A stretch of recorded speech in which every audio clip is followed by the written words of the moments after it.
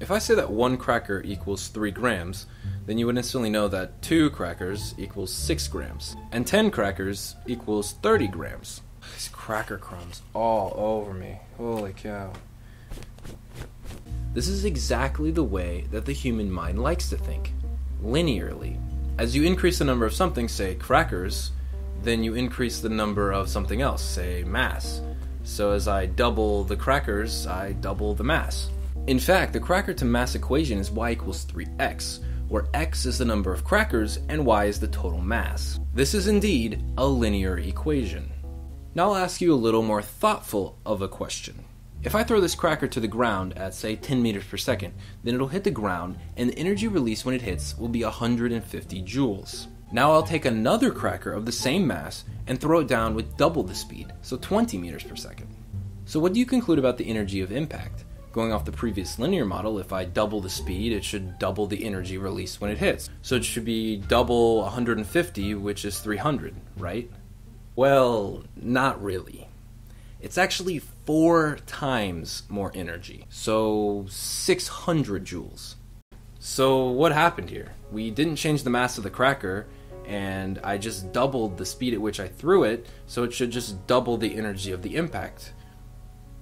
Well, unlike the way that we think, nature is governed by nonlinear laws as well as linear laws. The energy to velocity relation is something you might have seen in an introduction to physics class. The kinetic energy equals 1 half times the mass times the velocity squared. And the fact that the velocity is squared makes all the difference.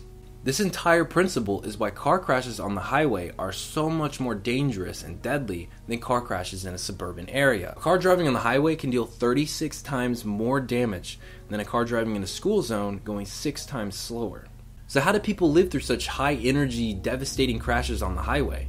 Well, there are actually various mechanisms aside from seatbelts that help keep drivers safe in the event of a crash. These include airbags, auto locking doors, and reinforced roofs. But the most important mechanism, aside from seatbelts, is what's called the crumple zone. The crumple zone is typically found in the front and the back of the vehicle and collapses on purpose to absorb some of the force from the impact. The crumple zone takes away some of the energy that would be used to throw you around your car and uses it to actually deform the car itself. The crumple zone wasn't actually invented until about the 1950s, so cars predating this typically stayed extremely rigid during impacts. For example, look at these two light pole crashes from the 1940s. Both of these cars' chassis stayed pretty much intact, whereas a more recent crash into a light pole shows that the entire front end was destroyed.